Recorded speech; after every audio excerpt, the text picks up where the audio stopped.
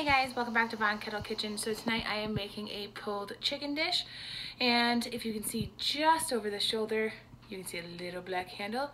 So I'm super excited that I have added to my pressure cooker family and got myself an 8 quart CPE XL. Super, super excited about this. I almost wanted to use it tonight, but I'm actually gonna use the little one only because this recipe serves six and it's not a ton of liquid. So if I was to use this one, I would have to at least make the ingredients 50% more than what I already have going. So as much as I want to use this baby tonight, I'm gonna hold off. I'm super excited that this came in. Um, I, I'm kind of speechless. I am super excited. I only had to pay 30 bucks for this. Um, I ended up getting a great deal on Amazon and I had some e-gift cards that I was able to use as well. So $30 for a beautiful XL pot. Can't wait. So back tonight. So I'm making a balsamic black peppered pulled chicken. So let's get going. All right. So we're gonna do three quarters of a cup of stock. This is just homemade stock that I have. And we're going to do a quarter cup of balsamic vinegar.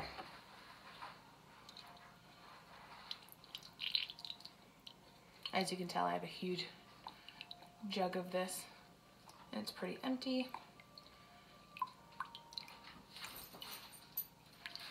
All right, I do have another bottle. I use a lot of it on salads and stuff.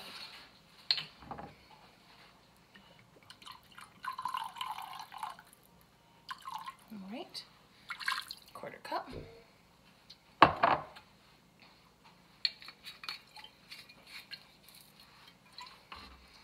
Want to see the previous bottle compared to my arm. It is huge. It's like the length of my arm. All right. So as I said before, it was a balsamic black pepper. So we're going to do one tablespoon of black pepper. Get the rest of that out. So I have strawberry kiwi jam.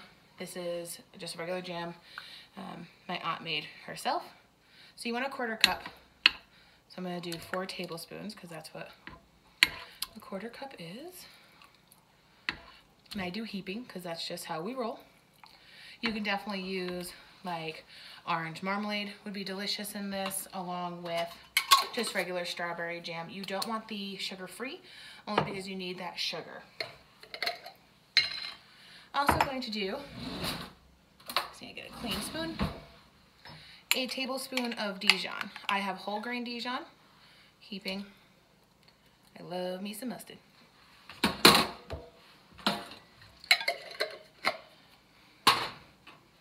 And just a teaspoon of salt. Voila. Put these guys away.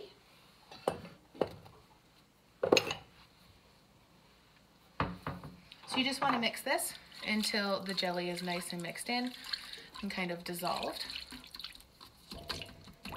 Well, not jelly, jam. My apologies. Jelly is clear. And you want the jam because it gets those nice pieces of fruit in there too. And it's gonna get nice and sticky.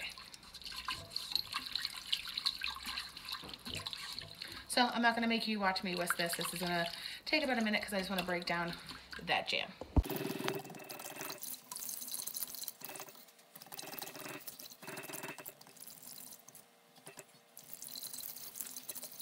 All right, so I'm just gonna add in about a half a teaspoon of dried rosemary.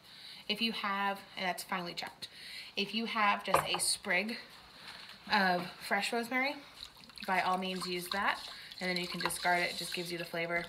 Sometimes rosemary can get a little woody, but I finely chopped that up. I have about two pounds of boneless, skinless chicken thighs.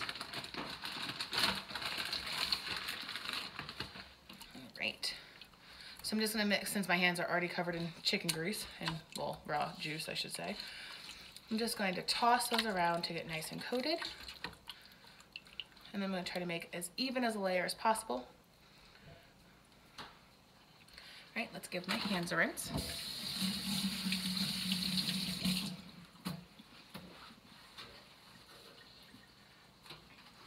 All Nice, we're gonna pop the lid on and then bring you up front. For this, there's a couple different options. If you have an Instant Pot, you can definitely use your meat button or you can do manual high pressure. If you have a poultry button, you can definitely use that. I'm gonna use poultry tonight, high pressure for 20 minutes.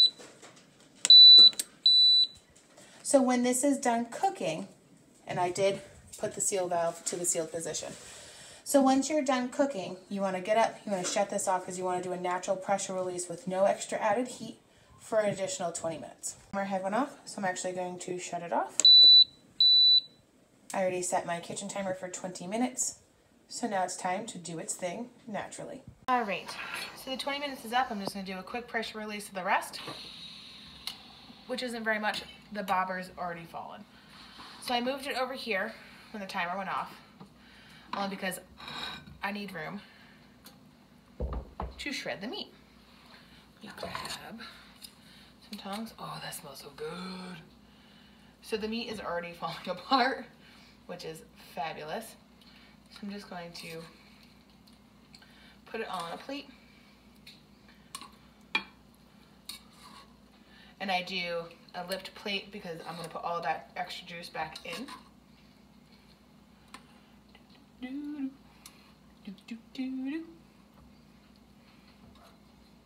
All right. So just using two forks, like you would shred anything else, just shred it. The reason you want to do a natural pressure release with poultry or pork, I would suggest, because it makes it not be tough. If you do a quick release with like pork or chicken, like a soft meat like this, it would definitely, I feel, that it becomes and comes out tough. That's why you want to do a natural pressure release for stuff like this. You could definitely slow cook this, same all ingredients, just cook it on low for six to eight hours. All right, almost done.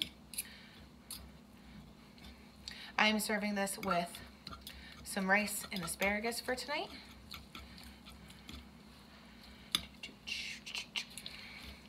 I cheated and I did instant rice.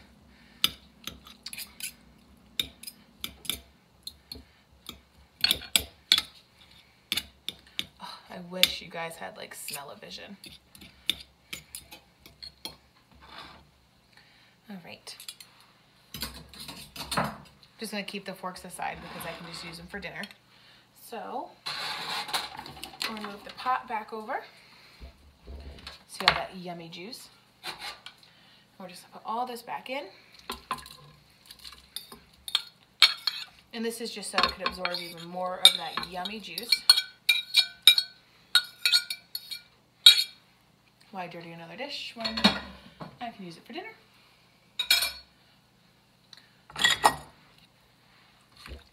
Just give that a nice stir. All right, so I'm gonna let this sit for about five minutes. I'm just gonna keep it just covered. I'm not gonna put it in the lock position or anything, just so all the juice can go inside that chicken thigh.